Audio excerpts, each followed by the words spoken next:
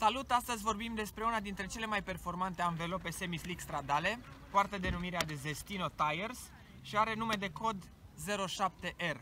Avem la dispoziție o anvelopă medium, omologată stradal cu DOT și în cele ce urmează vom vorbi despre aspectele tehnice ale anvelopei.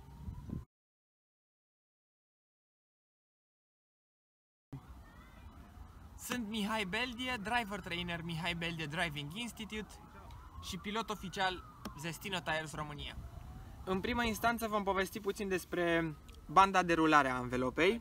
În zona mediană avem uh, o parte integral, uh, ceea ce se comportă ca, o, ca un slick, ajută foarte bine la înaintare. Pentru evacuarea apei avem un profil ce se îndreaptă spre exterior, cu alte cuvinte, chiar dacă avem la dispoziție un semislick, o să se comporte foarte bine și pe, pe ud. Iar zona mediană este încadrată de două profile, ce ajută foarte bine la evacuarea apei. În părțile extreme a anvelopei avem uh, un marcaj ce ne prezintă în permanență gradul de uzură a anvelopei, iar în momentul în care acest marcaj dispare, Anvelopa nu mai e utilizabilă în uh, parametri optimi, dar ne și ajută să vedem cum calcă anvelopa. Dacă uzura e mai pronunțată într-o parte sau în cealaltă, înseamnă că unghiurile uh, mașinii nu sunt în parametri optimi.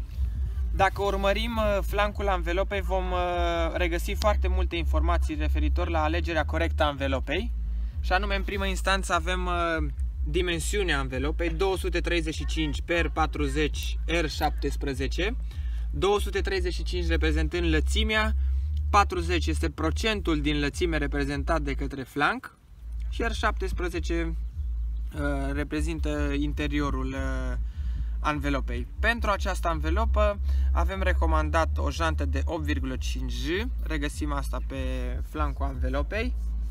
Uh, regăsim și zona de tradeware, în acest caz avem uh, tradeware 240, reprezentând adâncimea profilului de utilizare.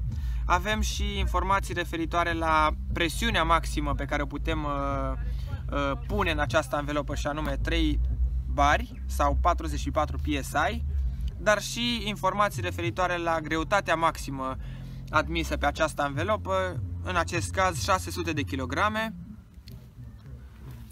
în uh, zona aceasta avem înscris și dotul.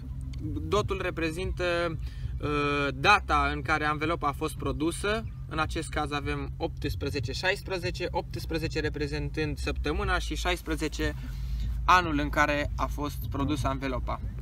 La final vreau să vă spun că la dispoziție avem o anvelopă ce o folosim în campionatul național de raliuri. Este extraordinară pentru utilizare stradală, având în vedere faptul că este omologată pentru utilizare stradală. Se comportă incredibil și pe ud, chiar dacă este un semislick și vi-l recomand cu maximă încredere. Este o super anvelopă ce o să vă surprinde de fiecare dată când vreți să vă jucați. Destino România